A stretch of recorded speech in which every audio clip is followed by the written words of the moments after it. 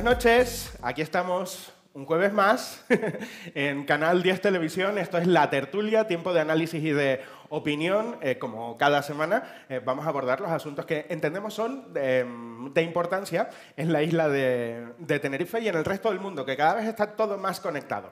Bueno, hoy eh, tenemos un programa en formato breve em, por cuestiones no ajenas a, esta, a esta producción, eh, vamos a hacer eh, dos bloques y así no le quitamos el tiempo a nuestras contertulias maravillosas que están hoy aquí con nosotros. Yo, eh, estoy yo entre ellas en esta, en esta noche de, de, de jueves pre-Semana Santa. Bueno, a mi lado derecho, a la izquierda de sus pantallas, Saida González, portavoz del Partido Popular en el Cabildo Insular de Tenerife. Bienvenida. Muchísimas gracias por poder estar aquí hoy. Y hoy estás en franca minoría, que entre, Eh, sí, sí. entre tres mujeres y tú, Exacto, a ver pero si sobrevives. yo, pero, pero no me siento, yo no me siento amenazado. ¿eh? ¿No? ¿Debería de tener miedo? que no, hombre, que no. Aquí seamos todos lo mismo al final, Saida. Muchas gracias por estar aquí con nosotros. Me encanta saber de... mm, militar iba a decir yo, pero no, también se, se le denomina kaki, pero no, ¿eh? es verde militar. ¿eh? En cualquier caso... Te queda muy bien en tu piel eso, ¿eh? Muchísimas gracias. Gracias, Aida. Bueno, a mi lado izquierdo, al derecho en sus pantallas, aunque ellos yo creo que se definen como de centro. Isabel Bello, eh, ella es eh, de Ciudadanos en, en, Canarias. Isabel, siempre te cambió el cargo y te, y te llamo coordinadora. No, no soy secretaria de organización. Secretaria de Muchas organización. gracias por invitarme. De Ciudadanos en, en Canarias, nada, yo estoy proyectando. ¿eh? Sí, sí. Gracias por estar con nosotros Nada, una, una semana más y, por- y por haber eh, tenido este tiempo de espera eh, para, para con nosotros, que somos un poco descorteses. Nunca. Muchas gracias. ¿eh? Bueno, y a mi otro lado eh, derecho e izquierdo en sus pantallas tenemos a la consejera de Coalición Canaria en el Cabildo Insular de Tenerife, Cori Llanes. Bienvenida. Hola, no, pues muchas gracias de poder compartir otro, otra tertulia más. Y nada, pues encantada de poder estar aquí. Gracias. Eh, nos encanta a nosotros que estés por aquí. Además, tú vienes hoy de, de color corporativo de este programa. Azul, ¿tú qué, qué apellido le pones a ese azul, Cori? Pues bueno, no es muy sencillo, azul clarito. o sea, Azul- azul cielo, ¿no? azul cielo, azul clarito. Comparado con, esta- poco con estos cambios azules que azul tenemos por aquí. Mira, ves, azul. eh, Isabel tiene ahí. ¿Eh? Tiene buen ojo para, para la cuestión cromática. Está bien. Bueno, vamos allá. Eh, bueno, primero tenemos que hablar de fin de la mascarilla, que nos dicen que a partir del 19 de este mes, adiós a la mascarilla. Eh, venga, vamos a darle, vamos a darle. Isabel, ¿esto es bueno?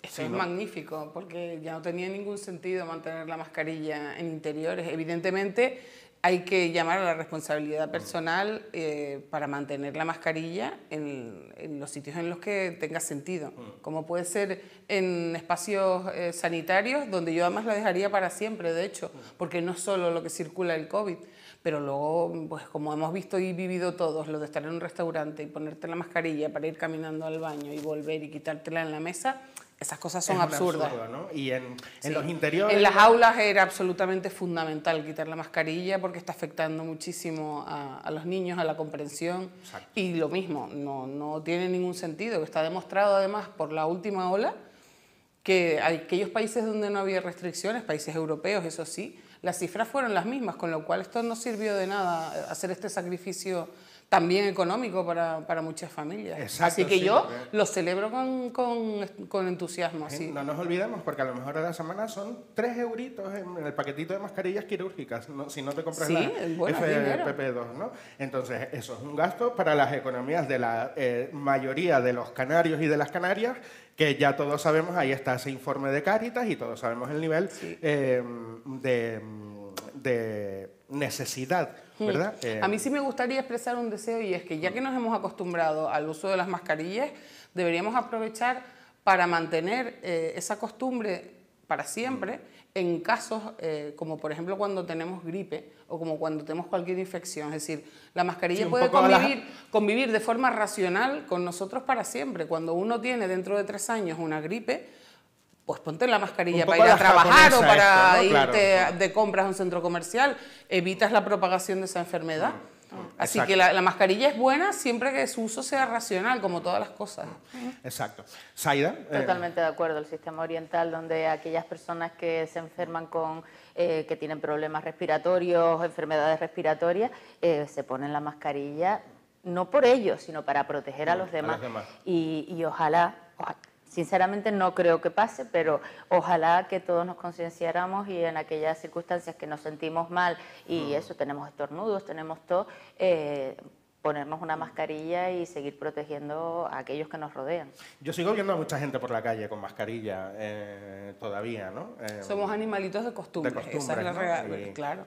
Y entonces, bueno, eh, sí que eh, entiendo que apelando a esa responsabilidad personal de que, que va a tener cada uno, yo creo que se va a cumplir porque ya lo hemos demostrado durante, durante un montón de tiempo, ¿no? Durante Aquí el único problema que yo veo que como ya no hay datos reales de, de los contagios que se están produciendo, que se Esa es siguen produciendo, novedad. se siguen produciendo, lo que pasa es que ya no hay datos reales, hasta que bueno pues a- no haya una, un, un otro incremento de- del uso de las camas hospitalarias que, que pueda llevar a, a, bueno, a tomar nuevas medidas, pues, pues ya se, va a normalizar la situación y a mí la única cuestión que me preocupa con la falta de, de- de datos de- de de positivo es que se nos pueda meter alguna otra cepa eh, complicada y cuando nos demos cuenta pues ya haya un, un incremento exponencial de- del número de contagios. Pero bueno, con eso es la realidad. lo- Bueno, tenemos ya... la nueva pastillita también, ¿no? Que, o sea, ya es- esto tendrá que ir normalizándose de, de alguna, de alguna manera, ¿no? Eh, es un contraste tremendo que nosotros estemos hablando del fin de la mascarilla aquí y, por ejemplo, en China en este momento están eh, cerrando absolutamente todo. Ya vamos a empezar a tener de nuevo problemas de abastecimiento en microchips, en un montón de historias, porque tienen todo absolutamente eh, cerrado. Parece que eh, la política de confinamientos en China tampoco ha funcionado porque siguen teniendo contagios, ¿no? Cori, mascarillas fuera. Bueno, Yo me fui al lejano oriente, pero... Llevamos dos años y además este tema ha sido un- tema tan polémico y tan subjetivo, ¿no? Porque a fecha de hoy eh, escuchamos a expertos decir que no se tiene que quitar o que tiene que ser gradual. Luego después vemos los datos por otro lado en ese, en ese sentido, ¿no? En situaciones en las que no ha evitado el número de, de De contagio. contagios. Entonces, bueno, si ponemos y analizamos todos los datos de lo que cuesta la mascarilla, de, de muchas cuestiones, sobre todo de, de- de que Y los test, incluso han ¿eh? tenido menos datos de, de gripe, ¿no? O sea, mucha... Entonces, eh, tiene sus pros y sus contras, evidentemente. Todavía no sabemos muertos con o por COVID. ¿Eh? Claro, Que yo- no- esa diferencia no se ha hecho No, por estadísticamente eso, todavía. por ¿eh? eso sería también importante, el, yo creo que, bueno, eh, está bien, ¿no? El- la, la medida que se toma, pero sí, por un lado, tener en cuenta los datos, porque yo creo que, que es importante eh, para poder tomar eh, decisiones, ¿no? Medidas previas y que no nos veamos encima como lo que nos ha pasado durante estos dos años prácticamente. Eso por un lado. Y por el otro, yo creo que, por un lado, el aprendizaje de la ciudadanía, vamos a dejarlo así, o la responsabilidad que tiene que, tomar, ¿no? Entonces, eh, habrá que, buscar, porque es verdad que hay gente que por la calle lo usa, pero hay gente con mucha fobia y, y entonces yo creo que también esto, este proceso de aprendizaje también de las personas, ¿no?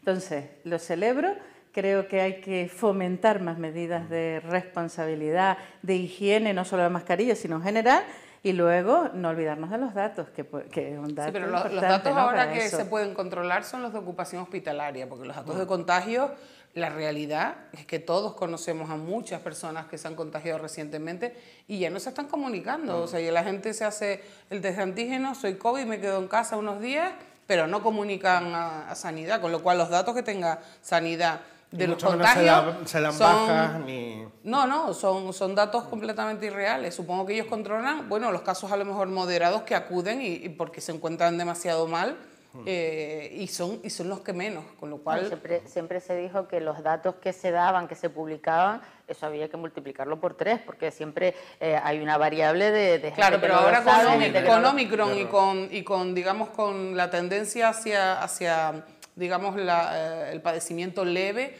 o asintomático de esta variante, eso de multiplicado por tres yo creo que se ha quedado totalmente obsoleto. A lo mejor es multiplicar por 10. Por No lo 10. sé, yo, yo yo creo yo- que no conozco ni una sola al final- casa en donde no haya habido alguien Algún con COVID caso, exacto. Mi casa. Sí. Mi casa mi también, Sí, porque bueno, mi y la, casa y la tampoco. mía que no Yo he llegado a pensar que algo tiene que ser de, de- no Genético, sé, si no, no no, lo eso está sabemos, estudiado, está estudiado. pero, pero Pues a lo mejor es simplemente que lo han pasado de forma sintomática. Por eso no puede planteo- ser. no lo creo, pero Que- o que sea, por no un lado son las medidas- eh, Que por eso planteo que por un lado son las medidas y por el otro el que se establezcan eh, datos y simplemente como cualquier otra ciencia para tomar medidas. Bueno, eh, efectos de la pandemia. Les voy a cambiar de asunto ya así rápidamente. Eh, efectos de la pandemia. Pues resulta que hemos recaudado un 29% más de IGIC del, eh, no sé, eh, es el impuesto general Indirecto. indirecto canario, canario. de Canarias, ¿no? Bueno, un 29% más de IGIC recaudado que antes de la pandemia, con un parón económico. Yo con esto alucino un poco. No, pero ¿cómo? ¿El IGIC en qué consiste? En un porcentaje sobre el precio del producto. Si el precio del producto sube, Claro. el porcentaje que se aplica sube. Por eso, eh, la propuesta del Partido Popular es bajar ese porcentaje que se está cobrando, porque al fin y al cabo, ese porcentaje que se está cobrando es lo que hace que la administración pública recaude más. Y eso es lo que es injusto. Es decir, por eso lo que se pide es bajar esos porcentajes de para que la sociedad, el, el conjunto de los ciudadanos, tengan más dinero en el bolsillo. Es que claro, aquí de fondo hay un, se, ha, se ha intentado establecer un debate sobre si impuestos sí, impuestos no. Los impuestos sí son necesarios. Exacto. El debate No, realmente Pero no tampoco tantos. ¿no? Porque claro, no, cuando pero uno es que el ve- de- pero es que el debate no es impuestos sí o impuestos no. Nadie está diciendo impuestos no. Es bajar los impuestos, Claro. porque los impuestos son Lo que- lo que- lo que no- porcentajes lo que no se sobre puede- lo que tú pagas. Lo que Claro. no se puede consentir es la voracidad recaudatoria de, de- bueno, De en este caso del gobierno de. Canarias, del gobierno de España. Bueno, de todo, la estudiado. política de izquierda. O sea, ahora mismo tenemos una política social comunista que es voraz con los impuestos. Pues por eso esa voracidad, porque también tienen una capacidad de gasto extraordinaria, más allá de los Es que por límites ahí es de la por donde van los tiros, es ¿no? por donde van los tiros. Sí, no, yo, yo creo que si en Europa muchos países han bajado los impuestos y todo este tipo de cuestiones, no entiendo por qué aquí se, se rechaza a un bloque que prácticamente pues, eh, muchos partidos están pidiendo. Por un lado, porque la recuperación económica más la inflación y todo este tipo de cuestiones, y hemos visto que no solo ha subido la subida del 30%, un 86% incluso eh, eh, antes de, ¿no? de, la, propia eh, pandemia, y que está perjudicando a muchísimos hogares. Y yo creo que un gobierno tiene que primero pensar en eso, ¿no? Entiendo eh, en ese sentido. Es que esa es la clave. La, la prosperidad de un país se basa en, en lo grueso que es la masa de la clase media.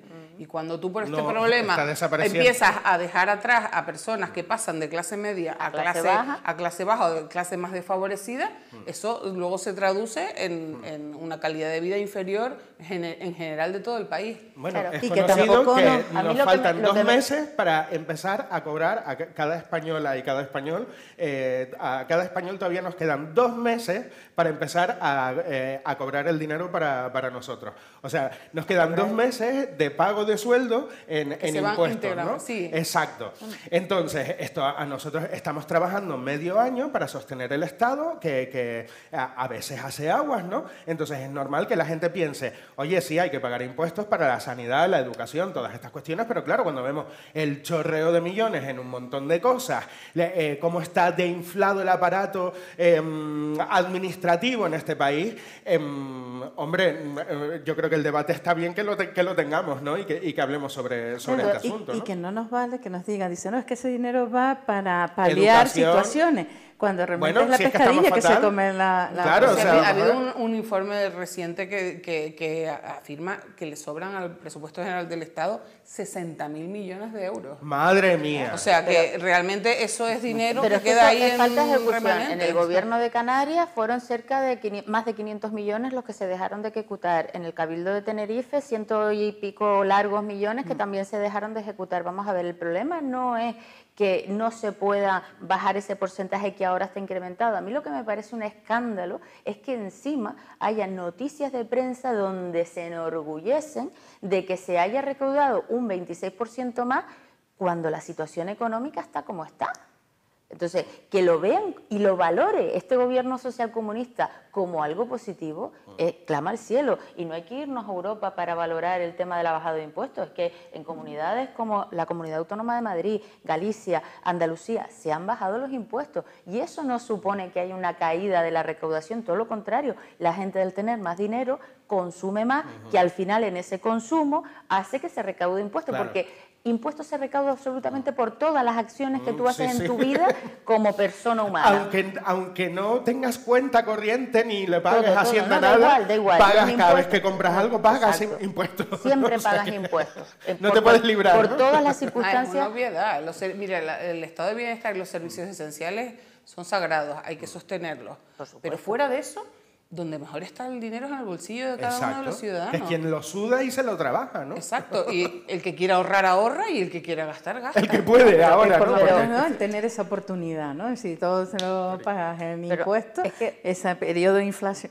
¿sabes? De, la inflación, que el gobierno se puede permitir, ¿no? El poder bajar y el poder hacer otro tipo de política de bienestar que no ¿Sabes qué pasa? Que además se producen fenómenos eh, cuasi fraudulentos políticamente hablando, como que nos suben el salario mínimo interprofesional, pero claro, con la inflación y claro, la se, lo, se lo ha comido a la subida. En realidad cualquiera que haga números sabe que su poder adquisitivo es menor. Exactamente. Bueno, eso han llenado el tanque de su vehículo. esa, es la trampa, es decir, a ti te suben el salario mínimo interprofesional, pero lo que a ti te retienen también es un porcentaje. Más alto, y ese porcentaje al tú tener más salario, el porcentaje de lo que te retienen y te quitan de Hacienda es mayor. Pero a eso súmale que gracias a la inflación y pagas más. Y al, final, al final a ti te suben los impuestos como trabajador y, o sea, te suben el salario como trabajador, pero te suben los impuestos que pagan, le sube al empleador lo que paga por ti, porque sobre lo que a ti te retienen, luego el mm. empresario paga muchísimo más. Mm. Por lo tanto,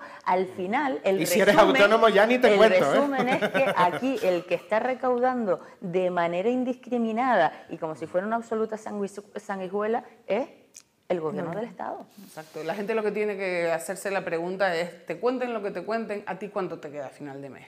Exacto. Y ahí tienes la respuesta de si te ha subido el salario. Bueno, o no, efectivamente es que hay muchas personas que tienen trabajo, que han visto aumentado su sueldo, pero al tiempo han visto disminuida su capacidad adquisitiva, ¿no? Em, entonces es, importante. Y si eso se tradujera en una mejora de los servicios públicos, claro. o, sea, si tuviéramos todo lo contrario, un hospital de verdad en el sur, si tuviéramos un hospital de verdad en el norte, si eh, pues claro, la gente entiende que se paguen impuestos, pero si es que estamos como estamos, y claro que ya, por ejemplo, en sanidad no hablamos de listas de espera, ¿verdad? Hace tiempo, ¿verdad? La pandemia nos ha venido muy bien para para todas estas cositas. Pues es normal que la gente piense que, oiga, si me están sangrando, estoy medio año trabajando para el Estado, eh, lo que recibimos a cambio no, no es de recibo, nunca, nunca mejor dicho. ¿no? Eh, Cori, ¿quieres apuntar algo más sobre esto o nos vamos... Les planteo siguiente tema porque nos vamos a publicar y nos hemos comido el bloque, ¿vale? ¿Pero quieres decir algo más de esto? No, no, en definitiva yo creo que al final la gente cuando mira su cartera y va a hacer sus cosas sabe lo que, lo que hay Mira, en cuanto esto es súper este, fácil. Este, asunto, ¿no? Uno, y me pongo yo como ejemplo, que no soy ejemplo de nada, pero bueno, uno ponía gasolina, llenaba un tanque con 40 euros, que ya eso era ¿eh? 40 euros. Ahora ese tanque son mínimo 75. ¿Eh? aunque tenga descuento, que ya hablaremos de eso también, ¿eh? Eh, de cómo están de cabreados las estaciones de, servicio que normalmente son franquicias de grandes marcas y que han tenido que pues, mm, adelantar. adelantar una media de 48.000 euros por, por, estación de servicio y en las de Tenerife con la cantidad de vehículos que tenemos, pues ustedes imagínense, ¿no? Ah. Aunque también vemos las carreteras más vacías últimamente, ¿no, no, lo han notado? La gente, la gente hace los transportes necesarios. Exacto. Claro, es que... Los transportes no, los traslados necesarios. los traslados, sí, los, sí, que son que te puedes saltar. Y el gasoil, bueno, ya hablaremos también, que lo tengo como tema, que por fin se puede pagar con tarjeta en las guaguas de Tiza, ¿no? Que eso era, madre mía, una reivindicación. Cada, vez que venía alguien de Europa aquí y se subía en la guagua y no podía pagar con tarjeta, alucinaba, ¿no? En fin, y bueno, y los usuarios no, no habituales del transporte público también, ¿no? Em, bueno, todo eso y un par de cositas más, las mezclamos, hacemos un buen potaje, un buen potaje canario informativo y y enseguida eh, se los ofrecemos para que puedan degustar.